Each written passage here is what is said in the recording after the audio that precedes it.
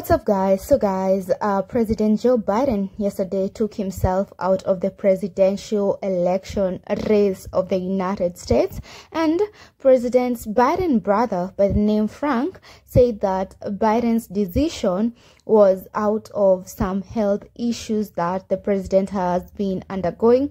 You all know that just the other day, uh, it was announced that the president tested positive for COVID-19. Now, uh, President uh, Joe Biden later endorsed uh, Vice President Kamala Harris as the Democratic presidential nominee candidate to replace him. And this is what he uh, said on X, previously known as Twitter, and I quote.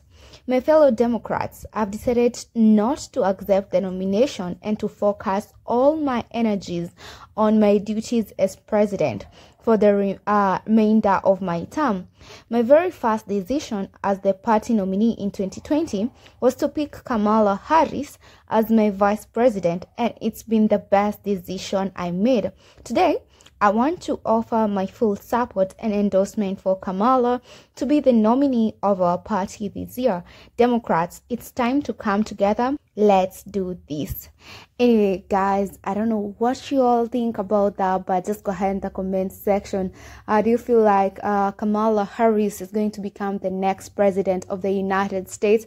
Or do you feel like Mr. Trump you know, has finally had an easy way to become, you know, the president of the United States.